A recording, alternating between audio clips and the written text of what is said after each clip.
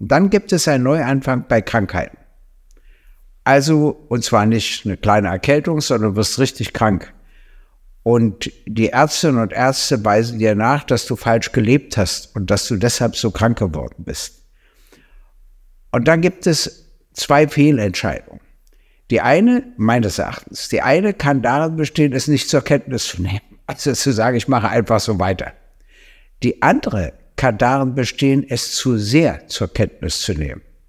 Das heißt, sein Leben nicht mehr zu genießen, sondern so einspurig zu verbringen, nur noch nach bestimmten Vorbehalten beim Essen, beim Trinken, beim Bewegen, beim Schlafen, weiß ich was, in allen Bereichen, dass du eigentlich kein Vergnügen mehr hast am Leben. Mhm. Und, und beides haben eines, eines gemeinsam. Beide haben eines gemeinsam, sie führen konsequenterweise zum Tod. Das eine etwas früher, das andere etwas später. Na gut, zum Tod führt konsequenterweise immer alles. Ja, es ist, ich kann mich noch an keinen Menschen erinnern, der übrig geblieben ist.